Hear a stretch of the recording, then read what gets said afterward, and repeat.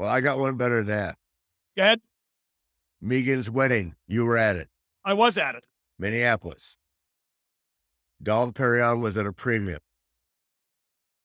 I told the guy, the girl that that orchestrated her wedding, to drive around Minneapolis and buy 30 bottles of Dom Perignon.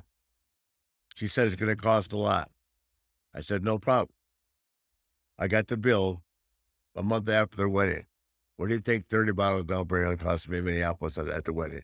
30 extra ones. I want to say seven grand. Nine. Wow. That was a great can- wedding.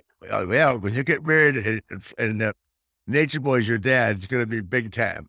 No question.